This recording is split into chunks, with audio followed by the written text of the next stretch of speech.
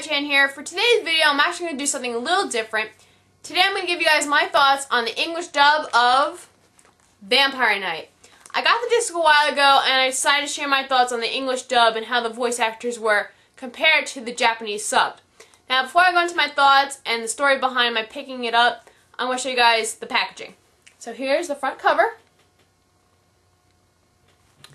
And the side. And here's the back. Now inside, I have to say I was very shocked to find a sample of the manga. Very cool. And here's the disc. Secure, so it's not going anywhere, which is awesome. Now, when I first heard that Vampire Knight was coming out on DVD, I was both excited and scared out of my mind. I was scared because I was so used to the Japanese voices because I had been watching the Japanese subbed online. Yes, I admit, I did watch it illegally, but I made up for it by actually purchasing the DVDs when they came out, so I made up for what I did. But anyway, that's not what this video is about. I went to Amazon and I saw a little preview video. I said, you know what, let me check it out because I always give these things a chance. So I clicked it and I was listening to the video and I was like, oh my god. This doesn't sound great. I was not impressed the first time I heard the voices for the English dubbed. But I wasn't going to just say, oh screw it, it's a dub, it's gonna stink, I'm not gonna watch this, I'm not gonna buy it. I always give English dubs a chance, even if they stink. I give them a chance. So I said, you know what, I still love Vampire Knight regardless, I'm gonna pick this up.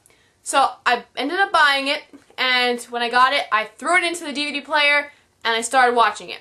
Now, right away, I had to say some of the voices just weren't working for me. They just didn't seem to fit the characters very well, and I was just like, oh man, I can't watch this anymore.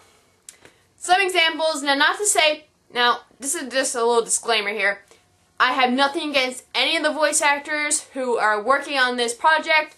You guys all did an awesome job, so I'm not just saying, you know, you did terrible. This, you know, I'm not downgrading you or anything. I'm just saying that this is how I felt the voices were with the characters that I really enjoy watching in the Japanese version. Okay, so here's my little list of uh, the voice actors here. Okay, Mela Lee, who plays Yuki Cross. It's just one of those voices that just isn't working for me right now. It hasn't clicked, it hasn't said, this is Yuki Cross. It's just not something that's working for me. I've watched the first four episodes and I'm still not sold. Not to say that she did a terrible job, it's just not working right now. Maybe it'll work later on in the series. Another person I had a little bit of an issue with was Nathan Murray. Now, he does the voice of Kuran Kaname.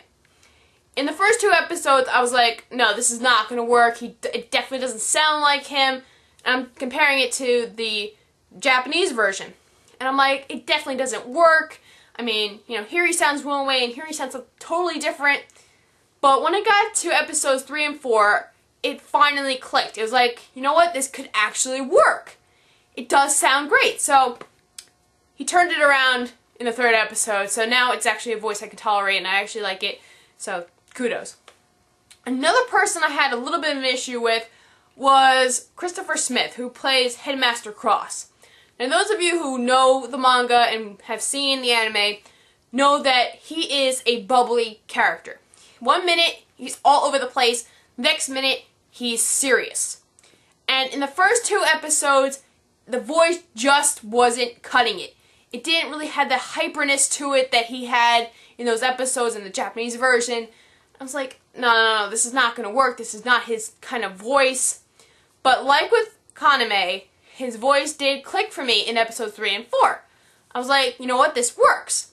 But that seems to happen to me a lot in English dubs, like with Jiraiya's voice in Naruto. I didn't really like it in the beginning, and then it started to click. It was like, you know what, this is Jiraiya's voice, it sounds great, I can live with it. And that's how these two characters are for me in Vampire Knight. Though I have to give two voice actors major kudos because both of them were awesome picks for their characters. And those two voice actors were Vic Mignogna and Troy Baker, who do uh, Zero and Akatsuki respectively. Both of them perfect choices, right on the nose. It sounds awesome. They were made for their characters. I can't say anything bad about their performance because there really isn't anything wrong with it. They definitely do fit the people they play. So, major kudos to both of you guys. Awesome job.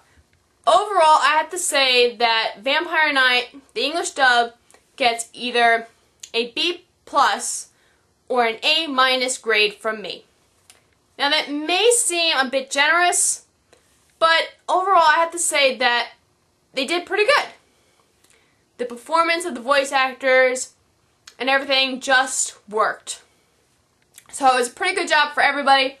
So I'm not disappointed in the slightest, but I'm sure you guys are wondering, which one do I prefer? Do I prefer the English dub or the Japanese sub? And I have to tell you guys, in complete honesty, I prefer the Japanese sub. Not to say that I don't love the English dub, it's okay, but I prefer the subbed. So, for those of you who are fans of Vampire Knight, get the disc, it's awesome. Don't be afraid because the Japanese voices are on here so you won't have to deal with annoying English dubs if you don't want to. So it's all in here. It's a decent price, so definitely pick it up if you're a fan of Vampire Knight, because we need to bring Vampire Knight Guilty over here, and they probably won't do it if Vampire Knight doesn't sell. So pick up Vampire Knight, awesome series, and that's my thoughts on the English dub. And I hope to do more videos like this in the future, so if you have anything you want me to do a review on, let me know, and I'll see you guys next time. Bye!